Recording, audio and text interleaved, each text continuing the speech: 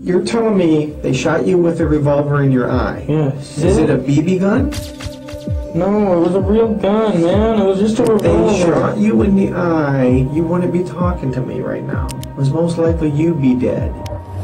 Little did the police officers realize that he was actually speaking the truth, uncovering the mind-boggling twist that would leave them astounded. A gunshot wound to the head had left him fighting for his life, with a brain bleed threatening to take him at any moment. What lead to this situation and what happened next? You'll find in this video. Man. You know why you're down here, Ryan? You have no idea why you're down here? Mm-mm. Okay. I don't know what happened, okay? So I'm gonna read you something to make sure you understand your rights, okay? Yeah. Okay. You know a girl named Heather? Mm-hmm. What is Heather's last name? Um, the one that lives there right now? I guess, I don't know. If her name's Heather, what's her last name? I don't know which name she's trying to use as her last one. She's trying to have a real last as her nickname, so I don't know. What nickname does she go by? She probably wants the last name Kyman. Kyman? How old is Heather? 16 or 17. She a white girl? Yeah. How did you meet Heather? I've known her since school. I don't know. You just known her from school? She used to be a business name. She used to be in the class, your business class? Mm-hmm. Right. What happened to your face? I don't know. You told the officer just a few minutes ago that someone hit you. Do you remember who hit you? I think it was Heather. Why would Heather hit you? It was an accident. I forgot why. What was an accident? Heather's last name? No. What was an accident? This guy's speech is all slurry. He can't seem to remember what's going on. And that wounded eye of his is flashing some serious warning signs of a brain injury. What happened last night? I don't know. You don't know. I really don't. I just want to go to sleep and go to sleep. Well, you remembered Heather hitting you in the eye, right? I don't know what anybody was doing. I really don't.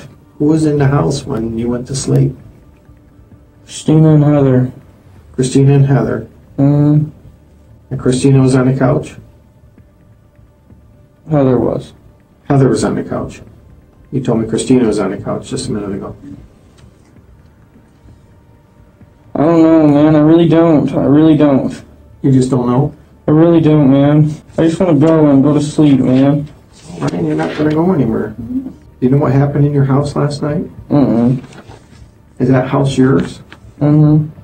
Yours or your parents? Mine. Why? What happened? I don't know what happened. You're all beat up.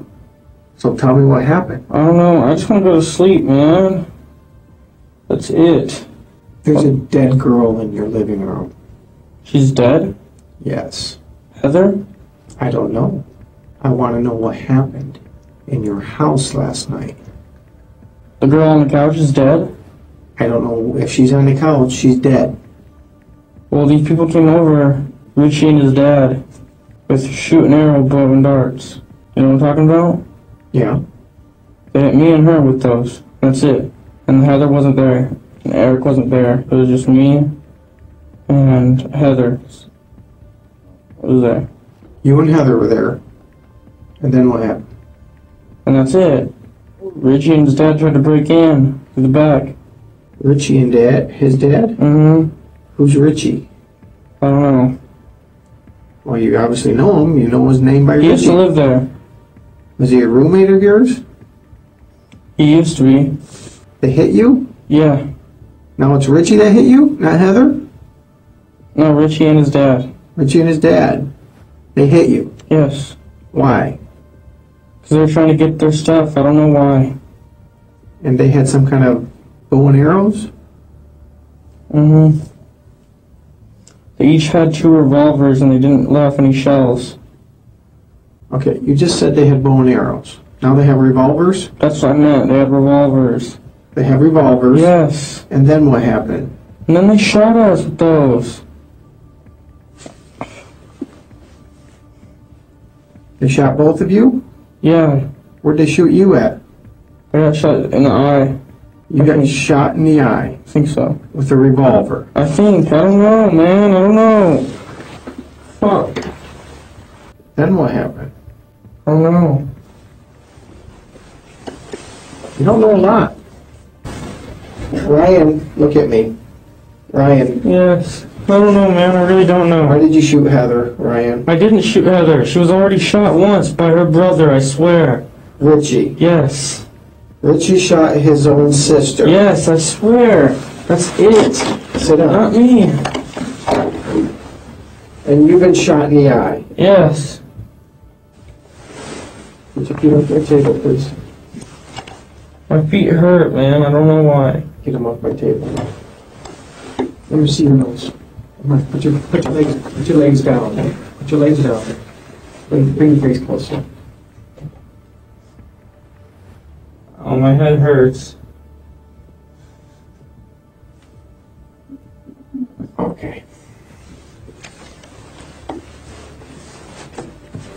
Yeah, be, be right back.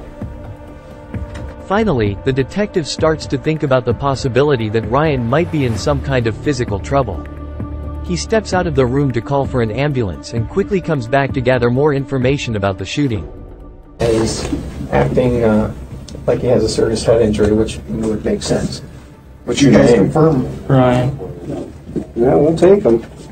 I don't know why. Yeah, we can tell. Did that all, has it been like that before or just happened tonight? Like this for like a day or so. When, so it happened what, the other night? I don't know. You don't know what happened. Were there guns around? Kid Eric did it. I don't know how he did it exactly. It might have been shot. I don't know. Are you waiting on? I don't know. It hurts really it went right through, huh? Yeah, it might have. I don't know. Ryan's journey began with a simple blood pressure check. Little did he know that this routine procedure would lead him to a deadly interrogation, lasting a grueling 56 minutes. Finally, he was rushed to the hospital, where doctors discovered that Ryan had been shot in the eye. As if this wasn't enough, the doctors also revealed to Ryan's father that his son had contracted an infection that could have been prevented with proper care. For Ryan, who ended up spending a harrowing 35 days in the hospital. During this time, he tragically lost part of his brain and his left eye, forever altering his life. But the nightmare didn't end there. Ryan was plagued by regular seizures from the moment he left the hospital, a cruel reminder of the pain and suffering he had endured. And then, in 2016, tragedy struck once again as one of these seizures claimed his life, robbing him of any chance at a future. The perpetrators of this heinous act, Richie and Larry, were sentenced to life in prison without the possibility of parole.